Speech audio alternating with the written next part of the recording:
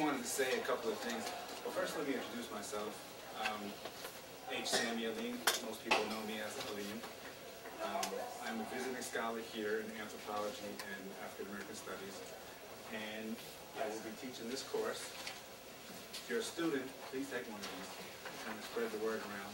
It's um, it's listed as Afro-American Sociolinguistics, Black English, and I think there's a nation language piece at the end of it.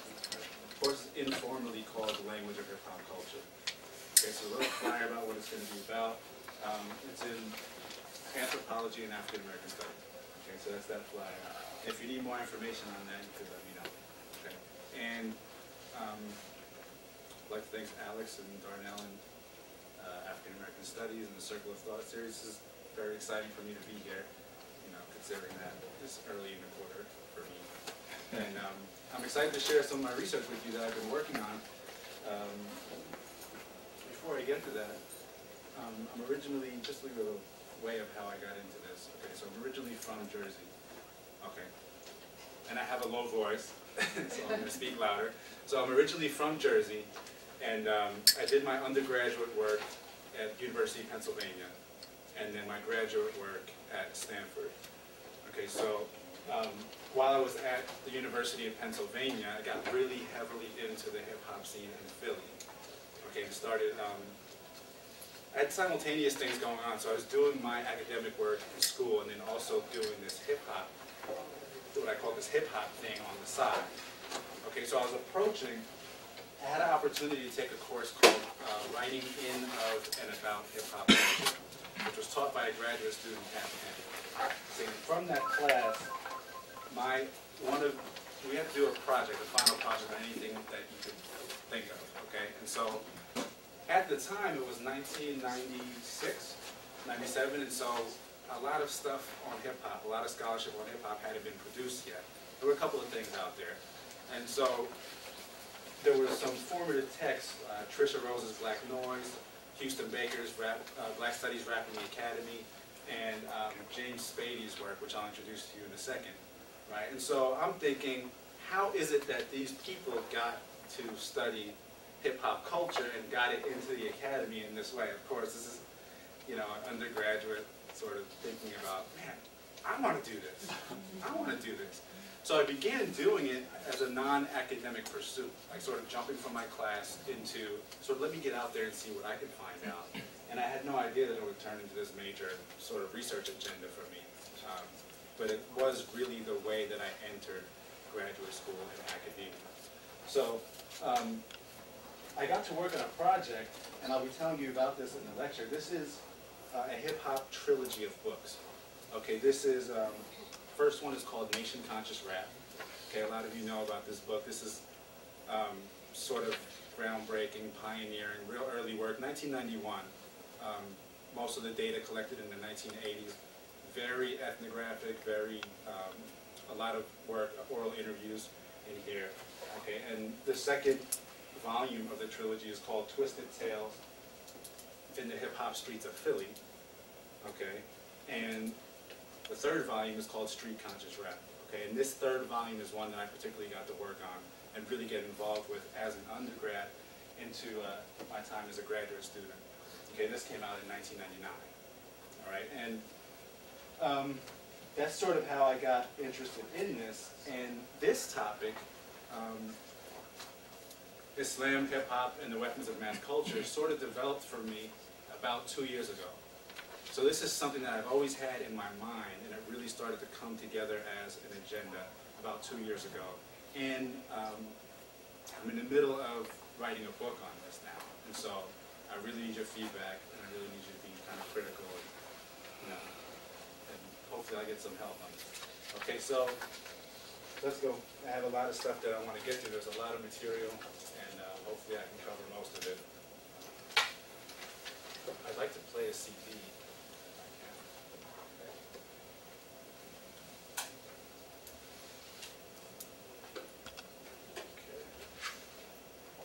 You can't have a hip hop song without music.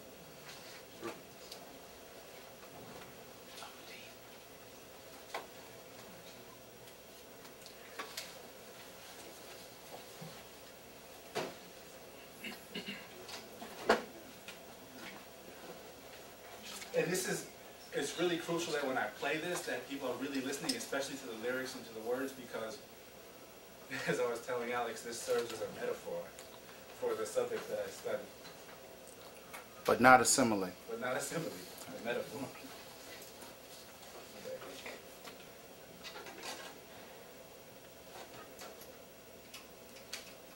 Making sure it's plugged in.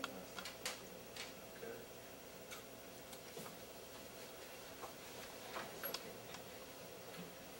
So what I'm gonna play for you is track by Mos Def. How many people know who Mos Def is? Raise your hand. Mos Def is an artist out of Brooklyn. Okay, he produced this album. uh,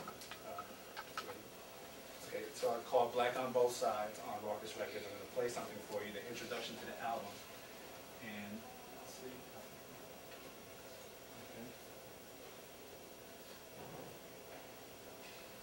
The intro is called Fear Not of Man.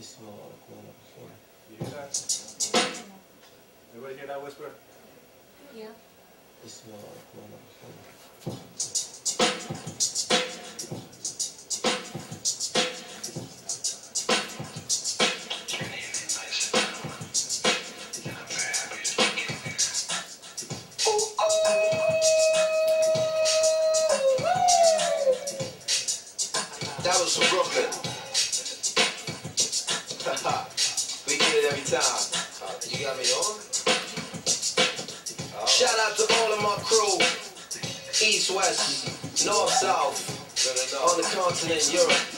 All abroad, international. There's a lot of things going on, y'all. 21st century is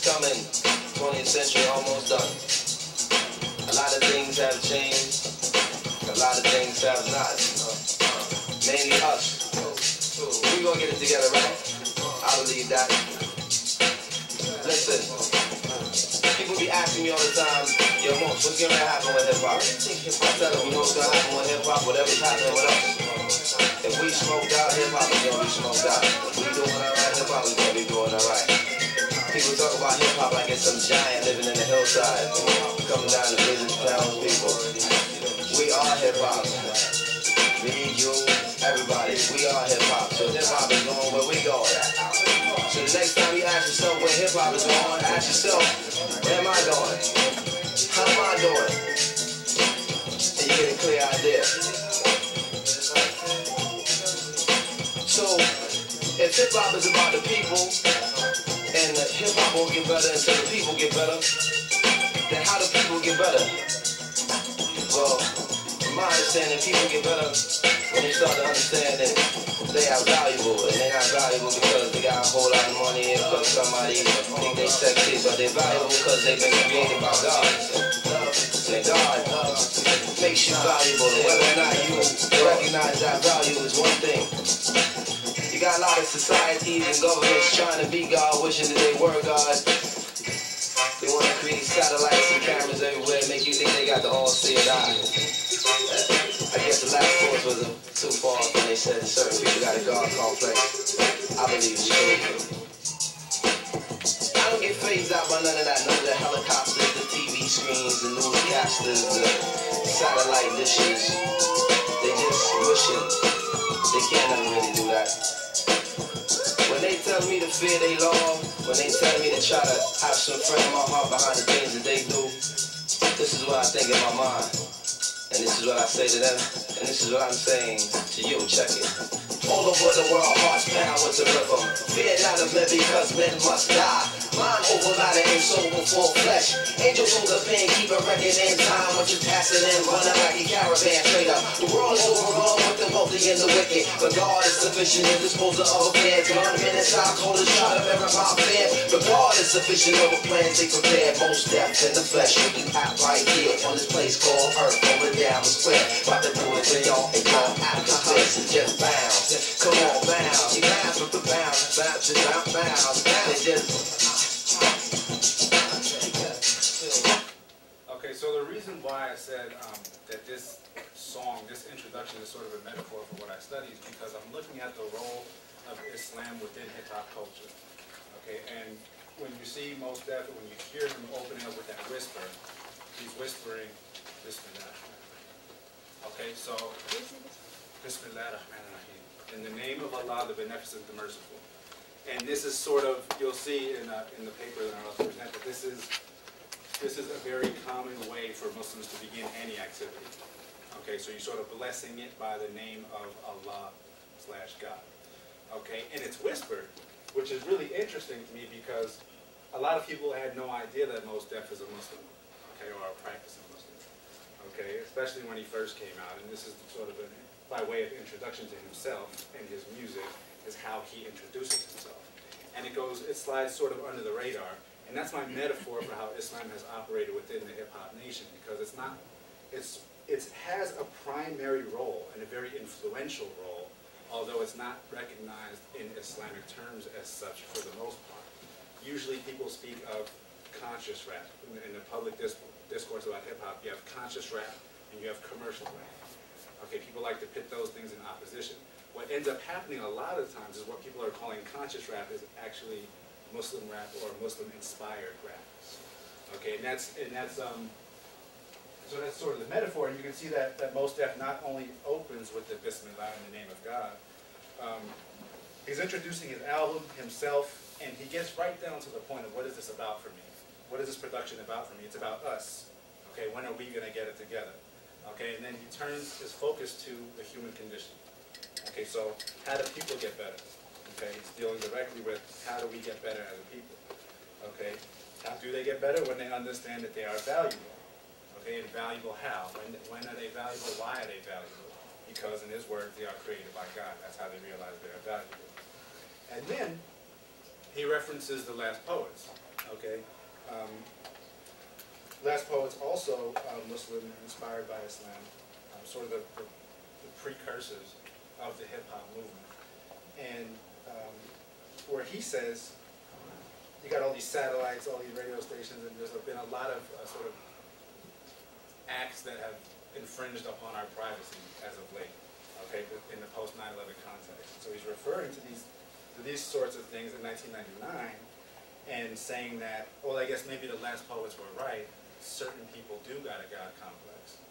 Okay, and the last poets famous composition, white man got a God complex. Okay, very interesting how white man gets transferred to certain people in 1999. Very interesting. But it's also, what I'm pointing there is the intertextuality of Muslim-inspired rap production within this record. Um, and um, he goes on to say, when they ask me to fear their law, to fear them, etc., that's not what he fears. Fear not of man is often repeated in the. Okay, you fear not of man, you fear not of humanly things, but you fear God. You fear God. Okay? And uh, he mentioned several things about angels recording, keeping the record in time, and um, repeats.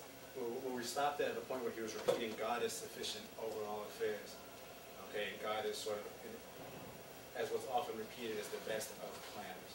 Okay, so this is a very, he's actually quoting direct verses from Quran, that you hear there, translated into English to open up his album. And so again, through through languages is also flying under the radar. And if you're not familiar with Islamic texts, and we'll get to Quranic texts and rap texts, then you would not necessarily place this within an Islamic tradition.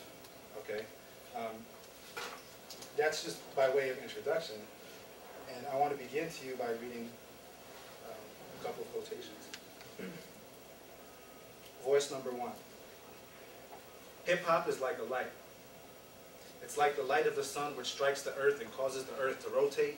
Just as the sun is burning at a temperature of 14,072 degrees, it sends out light at 1,086 miles per second, striking the earth at its very center, causing it to revolve and rotate at 1,037 miles per hour. The best of hip hop is like the sun, because it's hot. When it's a dope beat, it pumps you up, it heats you up, it causes you to sweat. And when you have light-giving, revolutionary spiritual lyrics, that light travels and it strikes you in your mind, causing your mind to rotate like the earth, causing you to think differently, causing you to act differently, causing you to bring down the world of white supremacy in your mind. Hip-hop is a great light, and it is also God's music today. Let us not forget the root of our life. When you hear the poor righteous teachers, when you hear X-Clan, Public Enemy, Paris, the Defiant Giants, Brand Nubian, Kool Moe Dee, when you hear them rap of black consciousness, they rap from our father, all of our fathers, the lessons of the Honorable Elijah Muhammad. That's where we rap from. That was Defiant Giants in 1989. Voice number two. I took my Shahada, the Muslim Testimony of Faith, four years ago. Well, I had been advised when you do works that go out to the public, written works or spoken works, that you should bless them like that, you know, by opening with Bismillah in the name of Allah, the Beneficent, the Merciful. It makes sense to me. The spiritual level just puts the seal on it. Like I'm making an effort to reach Allah with this. And inshallah, if it be the will of God, my efforts will be accepted. That, as you can guess, is Mos Def. In an interview I conducted in 2001 in San Francisco. Voice number three. I just took a trip to Saudi Arabia. It was beautiful. Everything, the people, just, you know, I've been Muslim all my life, and that's like, in Islam there's something called the five pillars of Islam, and that's one of the pillars. If you get the means to go to Saudi Arabia, then you're supposed to do it because that's where everything started at. It was beautiful, you know. The people were real hospitable. It was nice. That was Freeway. People recognize Freeway, the name Freeway? Okay, some of you do. Freeway, uh, very closely associated with the Philadelphia rap community is, of course, in Philadelphia. Beanie Sigel and the State Property Clique, everybody in, in Philadelphia is actually that whole state property clique is actually very influenced by Islam, and they present a really interesting dilemma, both for um, Islamic, especially for Islamic studies scholars who are interested in sort of these debates between uh, concepts of heterodoxy in Islam, okay, and, and orthodoxy. Okay, so what happens when Beanie Sigel, one of the hardest rappers in the United Streets of America, clenches his jaws and spits in that South Philly black street speech, I fear nothing but Allah. What has attracted such a large number of rappers to seek Islam as a means of establishing their faith claims? More generally, how much do we know about the relationship between hip-hop and Islam? In what ways are the two compatible?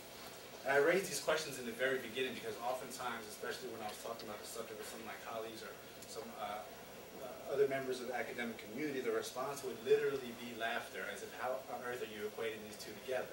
And at the same time, when you talk to um, uh, Muslims in a Muslim community, a lot of members also respond in that same way, as if the idea of looking at this is ludicrous. Okay? Um, and I don't mean ludicrous.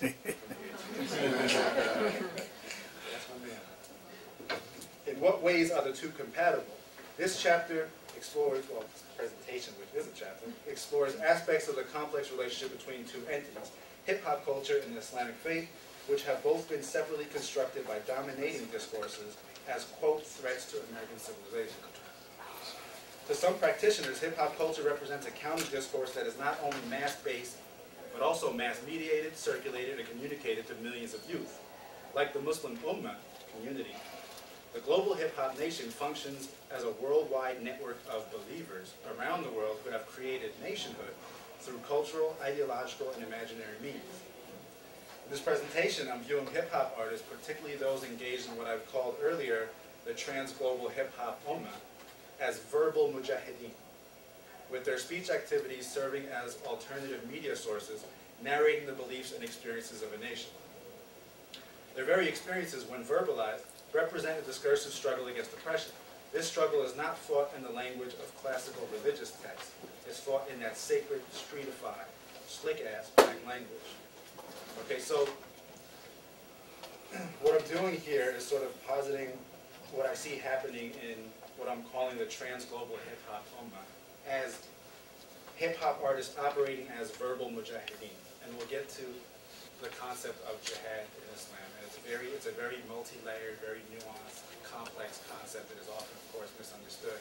I'm sure everyone in here has been aware of the talk of jihad on the news. And, um, I'm not sure um, how aware you are of the misrepresentation of the concept, but I'm sure that, that um, you've been involved in this in some way, shape, or form. Um,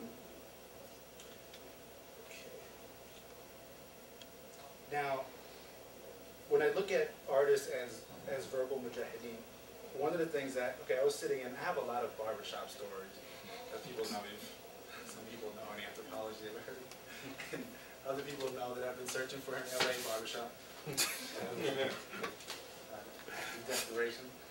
But um, I was actually in DC about two weeks ago, and they had the Millions More movement. Millions More movement. This is not just a march. This is a movement. That was the, the, the, the sort of banner. And I'm sitting in what is called Shabazz Brothers Barbershop.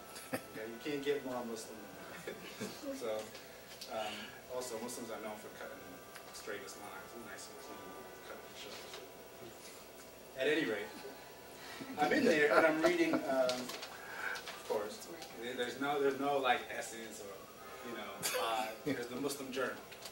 Okay, and so I'm in the barbershop sitting there waiting, and it's a long time because DC moves at its own pace. And um, there's this article, and I see Malcolm X on the front, and it's interesting because it ties in really nicely theoretically to how I'm conceptualizing this whole thing. And uh, Malcolm in The Power of the Press, it's called. Okay, so let me just. The time has come, this is in 1958. This is reprinted, of course, in July 1st, 2005. The time has come for all intelligent, quote, Negro leaders to recognize the power of the press, to realize that the pen is mightier than the sword. The daily press can make even the, quote, Negro public eat your flesh with its powerful, well-loaded propaganda guns. When the shooting turns in your direction, what will your weapon be? Certainly you cannot intelligently depend upon another man's weapon when the stakes are so high and the hour so near. You must get a weapon of your own. The pen is mightier than the sword. The weapon you should be able to rely upon most is the Negro press. Therefore, you should be wise to keep it in good condition, strong, well loaded, independent, and ready.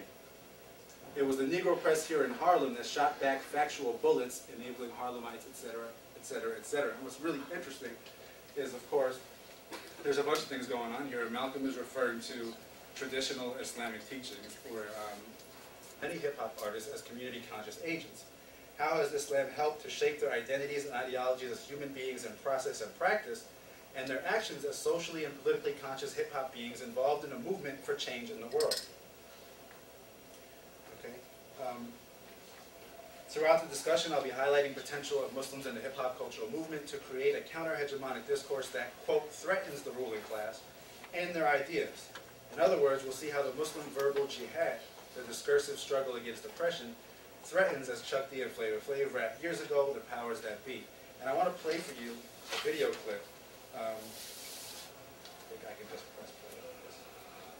But before I do, despite journalist Harry Allen's description of Islam as hip-hop's quote-unquote official religion, Islam's dynamic, dynamic presence and central role in the hip-hop nation have been largely unexplored, so I'm raising a number of issues and questions for further exploration in our attempt to gain an increased understanding of the global hip-hop nation and how it functions within a borderless Islamic nation. So the research lies at the nexus of two borderless nations.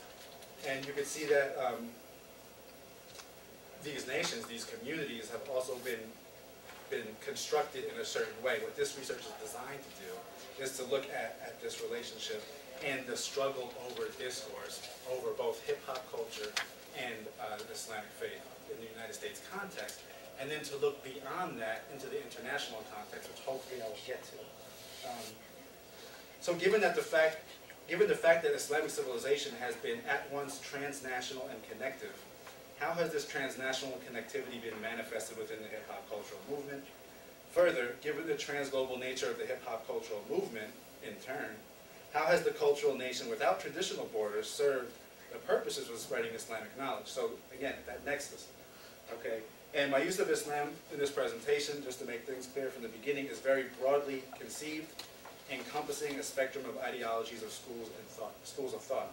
Um, I will address the three most dominant forms of Islam in the hip hop nation in the U.S. The Nation of Islam, the Nation of Gods and Earths, or the 5% Nation of Islam, and the Sunni Muslim community, paying particular attention to the nation. One of the things I had an opportunity to do um, Fulbright research in Cairo last year for nine months, an academic year. And one of the very interesting things, I give a number of lectures on this topic, particularly on the impact of hip hop culture, globalization on the Arabic speaking world. Okay? And one of the interesting things as we were talking before is how oftentimes people in the audience or people in, in the Middle East, the Middle East audiences, are not aware of the hip hop discourse that's going on in the United States and saying, hold on, wait a minute.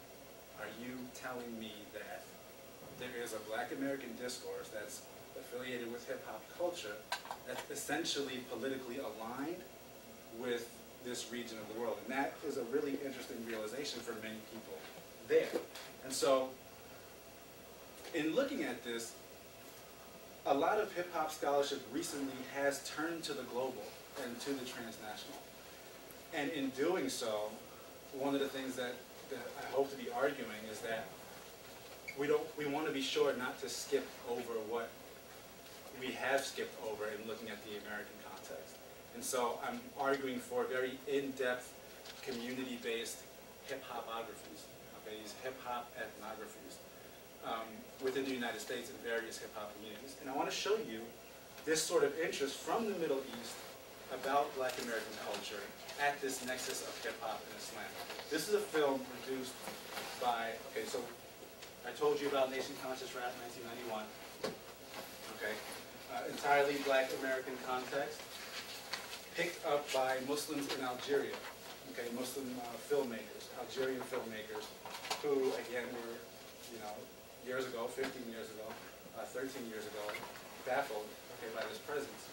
Um, certainly people have heard of Malcolm X, Elijah Muhammad, et cetera, in those regions of the world, but to have it interpreted through hip hop culture is something entirely new.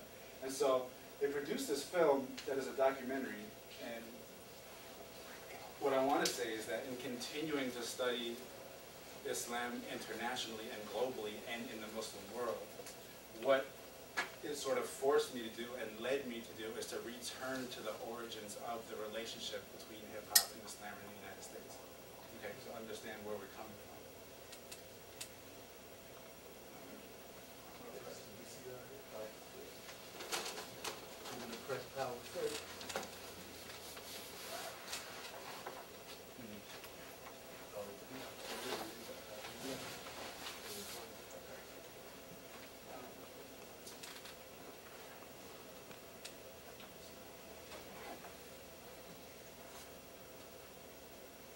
Get to see in this in this video, is a documentary. Do we have any French speakers?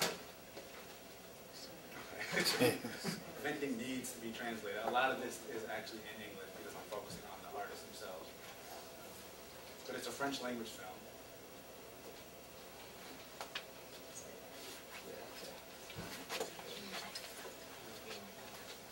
We use light storage.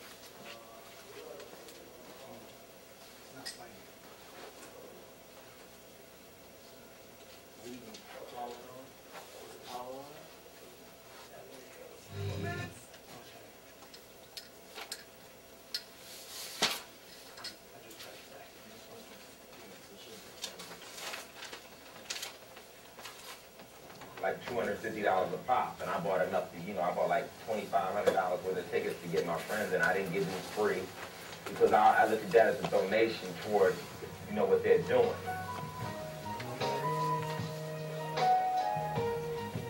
On a beaucoup reproché à Farrakhan ses hérésies en matière d'islam. Pour faire amende honorable, il a récité l'acte de foi en arabe. Il n'y a pas d'autre Dieu que Dieu, et Mahomet est son prophète.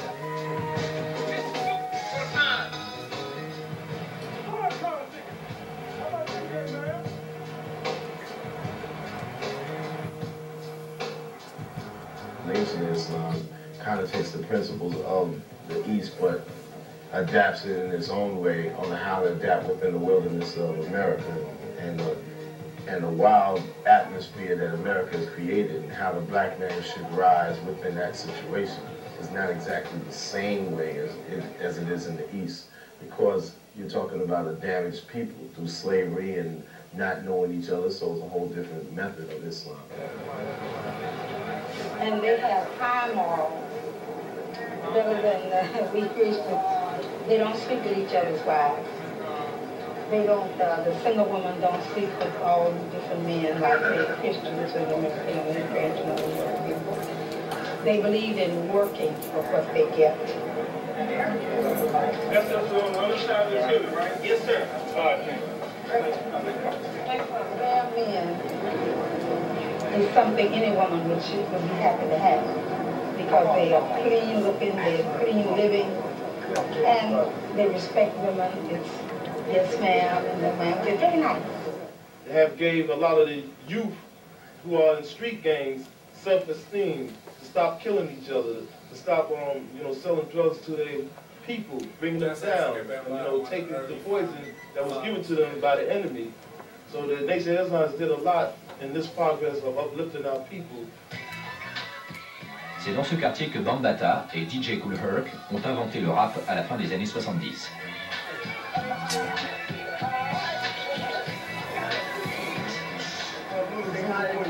Wave. Wave, sir. Trippy. Wave. Trippy. Say hi. DJ Kool Herc used to do his party around here? Yep. In the back of the center. Back center, in the center, around the center, in that school right there, Lower High School. Which year was that? Oh, early 70s. Like 75 to 79. Check it as I wreck it. They call me the B-A to the M. Bam Gotti, I'll be your friend. Never gave a fuck cause I live in the hood. Got crazy yachts cause I'm up to no good. I roll with my nigga, his name is Ant. This is no geek. Skip to college, it's time to turn pro. Pop the cork, fly and the lead low. Never too much or before I let go. Autour du cou, Bambaataa porte les médaillons de tous ses héros de Nation of Islam. They work on every level. They have cleaned a lot of areas, like especially in Washington D.C. and, and other places in Chicago, or drug-infested areas. They have brought back community life to many of these housing development projects around America with the mighty FOI, the Fruit of Islam, which is the army of the Nation of Islam.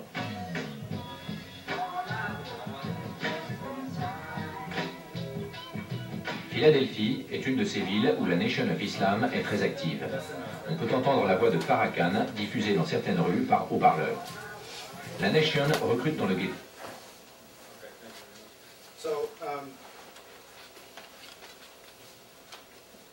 See just in that little short clip the sort of widespread influence that the nation in particular has had on um, the hip hop community and its development. Um, what's led to this particular focus in the research is in the process of interviewing. So, in working on this trilogy, we've interviewed hundreds of hip hop artists, okay, for several hundred hip hop artists. And right now we're continuing, uh, the trilogy is actually expanded, so it's going to be another trilogy in addition to that. And we're working on something called Enter the Cipher, which is hip hop culture and consciousness. And in interviewing artists for these projects, what is interesting is the way that Islamic knowledge gets invoked in conversation. Okay, and this is what, what leads to further exploration, and um, again, my argument for sort of an ethnographic approach to the study of hip hop culture. Okay, and an argument that privileges or sort of necessitates direct engagement with the culture. So we have um, cultural studies approaches that can look at lyrics, that can look at videos, that can look at films, et cetera, but I'm also arguing for a more anthropological, more ethnographic, um, especially historical ethnography. And uh, sort of what we're seeing right now is history in motion. And uh, Scott, if you remember, who was the, um, the scholar who was presenting on funk music? In, uh, Ricky Vincent? earlier in the Okay, Ricky Vincent was saying that unfortunately that a lot of the, the funk movement has not been documented by scholars at that time. So they're having to go back and reconstruct. And so here is a moment in time where we have history in motion and we can actually capture it as it's occurring with the hip hop cultural movement. This is why I'm advocating a strong ethnographic focus to the study of the culture. Okay? So we don't have to return through videos and album covers, etc. Um, hip hop text and the Quranic text, structural and symbolic similarities. Okay, many people will consider this blasphemous. Um, many people in the Islamic community will consider this blasphemous. Okay, how, how are there similarities structurally, symbolically? Um, and this is to give you a sense of how these things, how uh, Islam as a topic, as a focus, is introduced into the conversations. Um, just as Mecca remains the metaphoric center of the global Muslim Ummah, so do the concepts of the Quran and its revelation to Prophet Muhammad remain at the core of Muslim beliefs. Okay, I want to turn my attention to, to Mos Def because I'm noticing the time. Um, so, engaged in a conversation about um, hip hop and its relevance to educational practice. Okay, this is I'm talking with Mos Def now about another subject entirely. Um, Mos Def, who was a member of the Sunni Muslim community, uh, which is also known as Orthodox Islam, um, uh, discussed the reasons why he believes hip-hop lyrics can be an effective medium in educational practice. In the midst of his animated description, he drew a bridge between hip-hop poetics and the Quranic text as forms of poetry, each possessing a rhyme scheme and an ability to transmit, quote, vital information in a relatively short amount of time. Uh, his knowledge of the Quran and the Arabic language through which it was revealed were evident in his comments. Um, you'll see a, a dialogue, you'll hear a dialogue now between Alim and Mos Def. Uh, what do you feel the larger relationship between hip hop and education could be? Mos Def. I mean, hip hop could be phenomenal. Hip hop's relationship to education could be phenomenal. It could be extremely phenomenal in the sense that hip hop is a medium where you can get a lot of information to a very small space and make it hold fast to people's memory. It's just a very radical form of information transfer. So you see it as being a vehicle for transferring information? Oh, hell yeah. I mean, do you know how much information, vital information you can get across in three minutes? You know, and make it so that, I mean, the Quran is like that. Okay, so here you have that moment again. Okay, where we're talking about something else entirely. Uh, I mean, the Quran is like that. The reason that people are able to be hafiz, one who memorizes the entire Quran through constant repetition and study is because the entire Quran rhymes. Here, Mos Def begins reciting Islamic verses from the Quran. Bismillah ar-Rahman ar-Rahim, Alhamdulillah Rabbil Alameen, like everything. Like, you see what I'm saying? I mean, it's any surah that I could name. Qul Allahu Ahad, Allahu Samad, Lam Yalid, Walam Yulad, Walam Yakul Lahu kufan Ahad. It's all like that. Like, you don't even notice it. إِذَا جَاءَ نَصْرُ اللَّهِ وَالْفَتْحِ ورأيت الناس يدخلون في دين الله أفواجا فسبح بحمد ربك واستغفره إنه كان توابا Like there's a rhyme scheme in all of it. You see what I'm saying? And it holds fast to your memory. And then you start to have a deeper relationship with it on recitation. Like, you know, you learn Surah Al-Ikhlas, right? You learn Al-Fatiha. These are different chapters.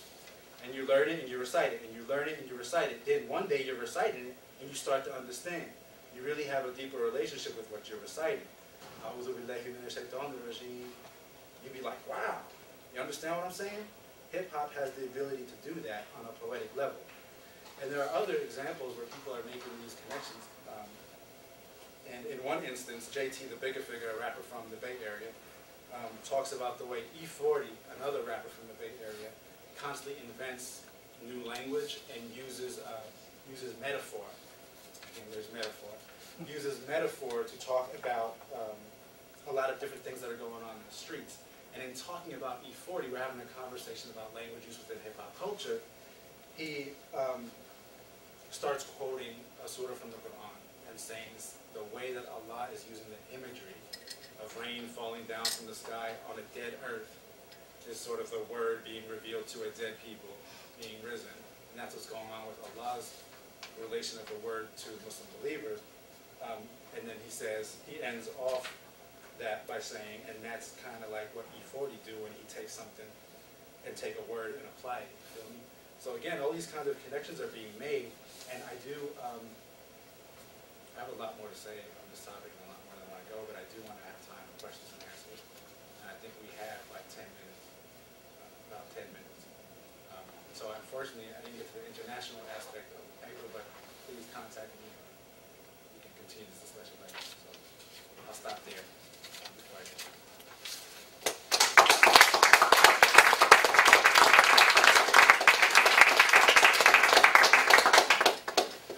I apologize for going on like that, but really this is, this so much information and there's so much background that needs to be provided and understand the, the sort of the multi-layeredness of this topic and that it does, it does meet at a nexus of very complex and misunderstood issues. So there's a lot of explaining, I'm sure people are not as familiar with the Nation of Islam, with the five percent nation, or the Nation of God and Earth, with the Sunni community and differences between that. And there's just a lot of background that I need to give, and so I want to work just through it, through the essentials. But if you have any questions. Can you characterize or discuss some of the tensions between the pen and the sword in hip hop? I mean, yeah, you talked about being freeway, freeway kind of got his name, shuttling narcotics up and down Mhm. I ninety-five.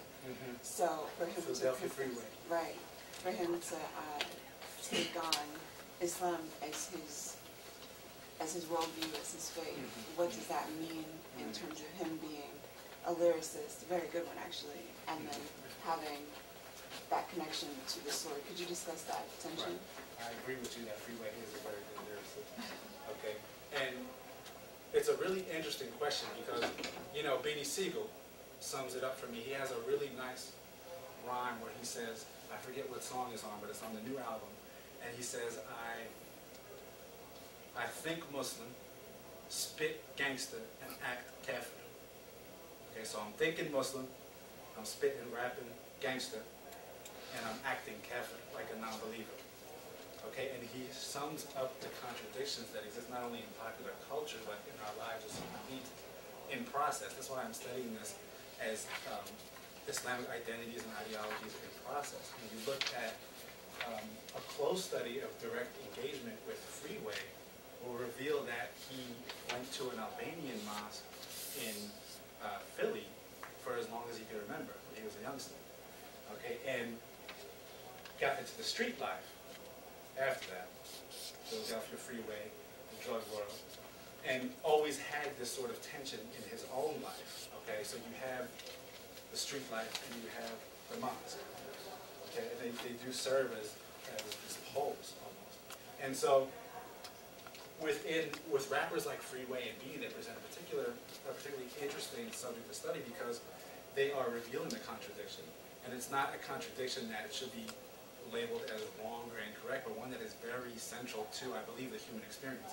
So in other words, not everyone will have those extremes of dealing drugs and making prayer in the same day, in the, in the mosque in the same day. But they do reflect the tensions that go on between the believing subject in their everyday experience. I think it's fascinating because what I'm studying is self-identified Muslim. Okay, and I'm sidestepping the whole debate between orthodoxy and heterodoxy in Islamic practice. Just sidestepping it entirely, just looking at self-identified Muslims and how they experience hip-hop. And so you have someone like Freeway doing all of these things, yet feeling the need to maintain and, and perform the five pillars so much that he takes the trip to Saudi Arabia, does performs Hajj, which is one of the major pillars. And so how he got the money to make that trip is entirely up for, for debate and discussion, but it does represent a really interesting tension. So, and I think it, it, it uh, so if you were looking for a case to problematize the whole discussion, Freeway Beanie Sigel State property would be excellent for that. And also the members of the 5% Nation, Wu-Tang Clan, um, are particularly good for that. You've been talking about American hip hop artists, Mhm. and you said that you spent some time in Cairo. I imagine that you were looking at hip hop artists in Cairo. Uh-huh. Do those artists have these same tensions Do, do they manifest in the same ways as they do in, in the States? What's really interesting is that in Cairo, I was looking at shaabi music, which is street music and culture in urban Cairo. This is sort of the street music, the functional equivalent to how hip hop operates here. So what moves the streets is very, it's a heavy social critique, etc. And on top of that, you have hip hop culture. Okay, so there's two things going on um, simultaneously. And where you notice the tensions of the type that I just talked about are with shaabi music and culture. Certain artists that are very, very political in terms of um, see the war in Iraq, the Palestinian-Israeli situation. Very direct and very critical and, and sort of clever in the way they introduce these things and what can often be a, a very uh, sort of a silenced kind of political environment. Um, but you'll have people who grew up in areas that are known for drug trafficking, okay, and then they're also involved in the practice and yet producing this, this sort of music that's very nationalistic, um, both in Islamic terms and in Egyptian terms. And so that's where you really see because hip hop has infiltrated the elite classes of Cairo far more readily and quickly than it has the street. So it's a very interesting kind of different phenomenon. And so the elites are identifying with American culture in this way, hip hop culture. So, interesting relationship. Um, thank you for your talk, it was really fabulous. Um, I look a lot at Christian I see some similar interesting things here, especially talk about the kind of polarization of the mosque and the streets. I kind of look at more like the church and the streets of the church and the club. And um, I've noticed recently there's been this movement to kind of draw on street slang and, and hip hop in the church. And um, kind of recognizing its ability, it's just a smart mission strategy to like speak the language of the streets, to reach the streets. And I'm wondering if you're seeing that kind of reverse flow of Muslim hip hop into the mosque or into more like religious, traditional religious settings as a way to reach young people. What I think is really interesting about that is that the role of Islam in hip hop culture hasn't been in the same way that you see Christian hip hop. Okay, for a number of reasons, and I think particularly because of the influence of the nation in the early years, you have Islam being associated with street culture because the, the mosques are in every single hood, from Oakland to Harlem to Bayview, Hunters Point to here in LA, Chicago. Every hood you have the mosque, and so the nation is very influential in terms of the street level. And so you have people like Afrika Bambaataa who are foundational to hip hop culture interacting with Minister Farrakhan in the early days and getting those teachings from other Muslim communities in the very early days and developing a Zulu nation modeled after the Nation of Islam and other sorts of post-colonial um, rebellions in, in Africa. And so there is this almost integral role and a tacitly um, sort of, you don't even have to articulate it, role that, hip, that Islam has played within hip hop culture and the hip hop nation. What you have now that's similar to what you're talking about is Muslim hip hop. And there's a very big difference between, the, if you're talking about the role of Islam in the hip hop nation, centrally, and Muslim hip hop, which often positions itself outside of the hip hop nation, commercialism, misogyny, etc., to form a Muslim hip hop which is more closely aligned with Christian hip hop. And there's a very good book called Noise and Spirit. You have it that touches on the, the spiritual um, influences of hip hop culture from a variety of different I think it's an excellent addition to the literature because it has some, it has been something that's been very overlooked, and yet um, in Black American music, Black American community, something that is very central. It's almost impossible to know of the variety of African American spiritual traditions in the community and to expect them not to have a central role in the culture and the music. And so I think it's, it's timely and it's we need to focus on. Got to follow? Well, I was wondering, I was more interested too in, in Muslim institutions abroad, whether they're using hip hop now. I argue that hip hop artists are perhaps the most um, potent contemporary conveyors of Islam globally. And I had a really interesting discussion discussion, I gave a lecture with, um, at the U.S. Embassy in Cairo, and they invited a bunch of religious leaders, like, you know, I'm not a religious scholar, I'm not an Islamic scholar, and so to speak in front of um, Islamic leaders in the community was very interesting, because one of the responses was, um, sort of how, why are you saying this? Why are you making this connection when we can reach we can reach our populations, we don't need hip hop to do this? I said, well, are you in fact doing this? Are you in fact reaching your youth with your message? I said, I don't really think you're doing that. I said, the mosques are full of people who are 40 years and older, and the youth are out doing something else. Okay, in fact, they're, you know, they're, they're listening to more street-oriented music with messages rather than going to the mosque themselves. And there was this sort of consensus among the group that people do feel like they're losing their youth in terms of the, the, Islamic, the Islamic connection. And I think hip-hop conveys Islam to a larger number of people, a number of youth, particularly at the situation in France with um, Algerian and Senegalese immigrants. A lot of Muslim immigrants from Africa to France have just galvanized a movement that's recently gone out of control. Um, if you've seen the recent reports in Paris, what's going on in the, in the banlieues there.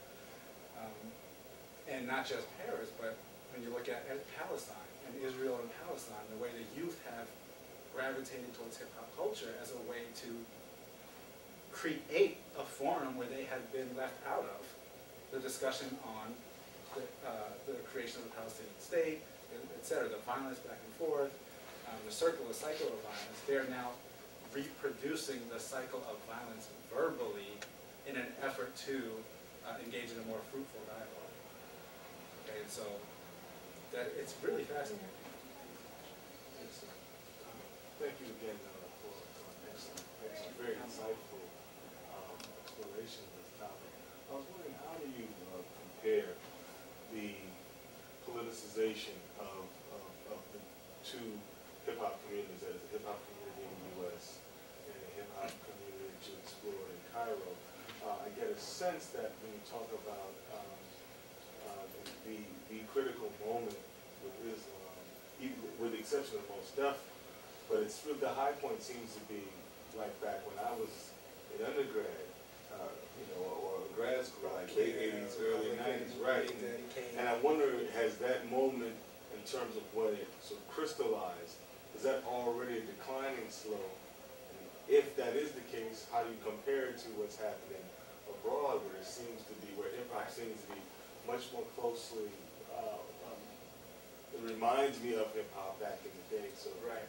Hear what Palestinians and Egyptians are doing with hop, twenty years ago. Well, It's a really good question because the way, in order to look at hip hop and the role of Islam in hip hop, there's been a co-evolution between Black American manifestations of Islam and hip hop culture. So in the beginning, you had the nation heavy, heavy, heavy on the scene, Nation of Islam. So you had Big Daddy Kane, Public Enemy, even Rakim, was also fighters. And you had um, just a, a number of artists who were heavily African American, inspired by the Nation of Islam. As Islam evolved in the black community, then you have more people, particularly in the early 90s, turning to the 5% Nation of Islam, which had a really, which gained a stronghold in New York, New Jersey, and the Northeast. And so in hip hop, the role of Islam evolved to what you have as sort of the Wu-Tang Clan contingent, everybody from, from the Wu-Tang Clan, Man, Raekwon, everybody.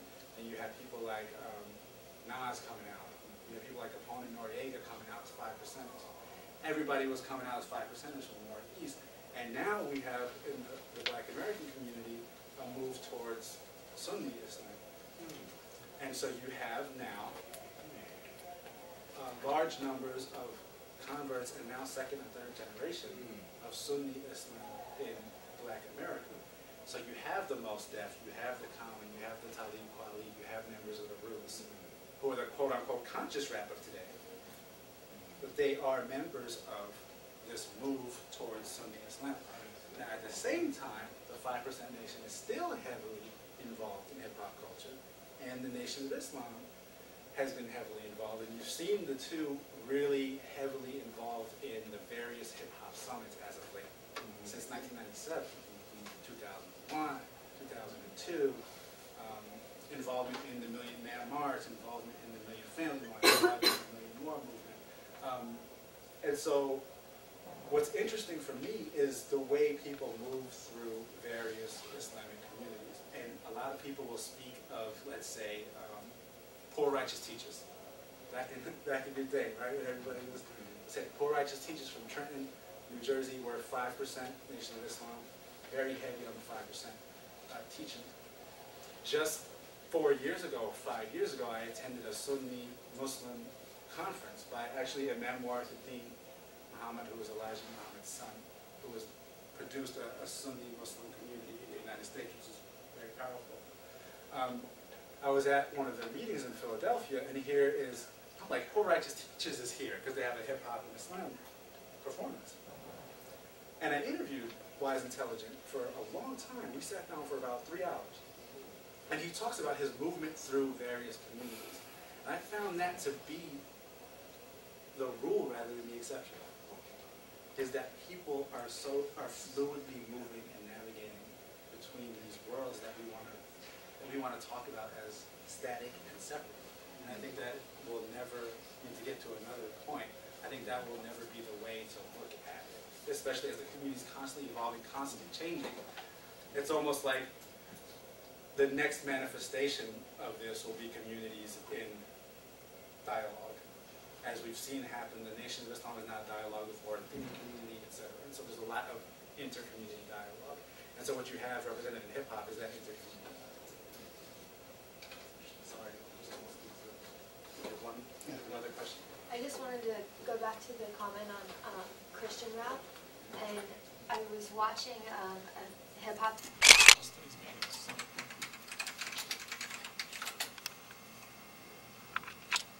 So we're, we're